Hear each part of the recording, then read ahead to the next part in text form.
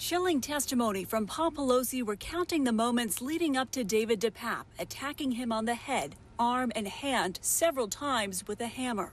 The jury watched intently as Mr. Pelosi described waking up to the defendant a few feet away in his upstairs bedroom with a hammer and zip ties in his hand, talking sternly as he recalled the series of threats DePape made towards his wife leading up to this 911 call. Uh, he thinks everything's good. Uh, I, I've got a problem, but he thinks everything's good.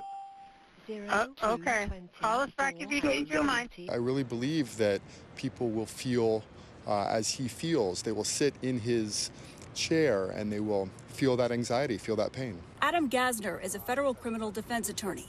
He explains the testimony and substantial amount of evidence against DePape complicate the defense strategy. It tells a lot about maybe the negotiations that occurred behind the curtains, uh, that there wasn't an offer uh, that Mr. DePape's lawyers felt was acceptable. Before this trial began, the government raised concerns to the judge that people, possibly one of DePape's children, was passing out flyers with misinformation about the case.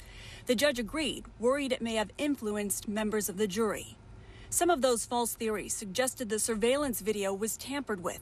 Today, the FBI agent who edited the footage shown in court testified about its accuracy. The reality is these jurors have been specifically instructed uh, not to listen to anything outside of the jury room, not to read um, press, and certainly not to read flyers that have no basis in fact.